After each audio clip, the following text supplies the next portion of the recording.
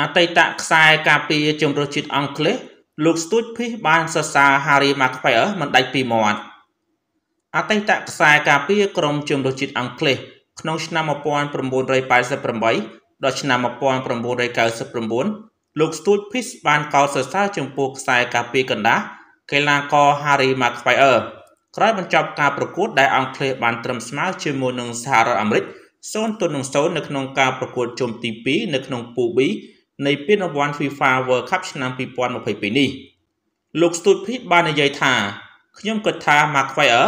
លេងល្អខ្លាំងណាស់នៅក្នុងការប្រកួតនេះបើគ្មាន Maguire ទេច្បាស់ណាស់អង់គ្លេសនឹងចាញ់អាមេរិកព្រោះអង់គ្លេសលេងមិនបានល្អតតែសោះនៅក្នុងជំនួបទល់នឹងអាមេរិកនេះហើយលោកបានបន្ថែមទៀតថា Maguire រូបគេពិតជាខ្សែការពារកណ្ដាលដែលខ្លាំងមែនទែនសម្រាប់ក្រុមជម្រើសជាតិអង់គ្លេសជាពិសេស គឺការកាត់ផ្ដាច់បាល់របស់ខ្សែប្រយុទ្ធក្រុមជម្រើសជាតិអាមេរិកតែម្ដងចាស់ច្បាស់ហើយមិនផ្លាត់តតែសោះលោក Stuart Pearce